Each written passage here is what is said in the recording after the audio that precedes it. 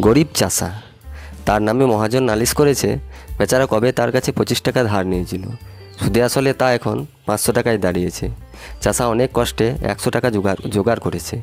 কিন্তু মহাজন বলছে, পাঁচশো টাকার এক পয়সাও কম নয়, দিতে না পারো তো জেলে যাও।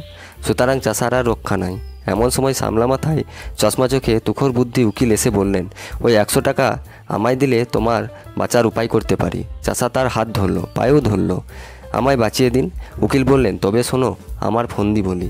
যখন আদালতের কাঠগড়ায় গিয়ে দাঁড়াবে, তখন বাপু হে কথাটা কয়ও না।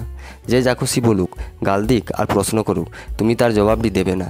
খালি পাঠার মতো ব্যয় করবে। তা যদি করতে পারো, তাহলে আমি তোমায় খালাস করে দেব। চাষা বলল, আপনি কর্তা, যা বলেন, তাতেই আমি রাজি। আদালতের মহাজনের মস্ত উকিল চাষাকে এক ধমক দিয়ে জিজ্ঞাসা করলেন, তুমি সাত বছর আগে পঁচিশ টাকা কর্জ নিয়েছিলে? চাষা তার মুখের দিকে চেয়ে বলল, ব্যয় উকিল বললেন, খবরদার বল, নিয়েছিলি কি না? চাষা বলল ব্যয় উকিল বললেন, হুজুর, আসামির বেয়াদবি দেখুন। হাকিম রেগে বললেন, ফের যদি অমনি করিস, তোকে আমি ফাটক দেব। চাষা অত্যন্ত ভয় পেয়ে কাঁদো কাঁদো হয়ে বলল ব্যয় ব্যয় হাকিম বললেন, লোকটা কি পাগল নাকি? তখন চাষার উকিল উঠে বললেন, হুজুর, ও কি আজকের পাগল? ও বহুকালের পাগল। জন্ম অবধি পাগল। ওর কি কোনো বুদ্ধি আছে না কাণ্ডজ্ঞান আছে? ওর আবার কর্জ নেবে কি? ও কি কখনো খত লিখতে পারে নাকি? আর পাগলের খত লিখলেই বা কি? দেখুন দেখুন, এই হতবাগা মহাজনটির কাণ্ড দেখুন তো। ইচ্ছে করে জেনে বুঝে পাগলটাকে ঠকিয়ে নেওয়ার মতলব করেছে। আরে, ওর কি মাথা ঠিক আছে? এরা বলেছে, এখানে একটা আঙুলে টিপ দে। পাগল কি জানে? সে অমনি টিপ দিয়েছে। এই তো ব্যাপার। দুই উকিলের ঝগড়া বেঁধে গেল। হাকিম খানিক শুনে টুনে বললেন, মোকদ্দমা ডিসমিস। মহাজনের তো চক্ষু স্থির। সে আদালতের বাইরে এসে চাষাকে বললেন আচ্ছা না হয় চারশো টাকা ছেড়েই দিলাম। ওই একশো টাকাই তো দে।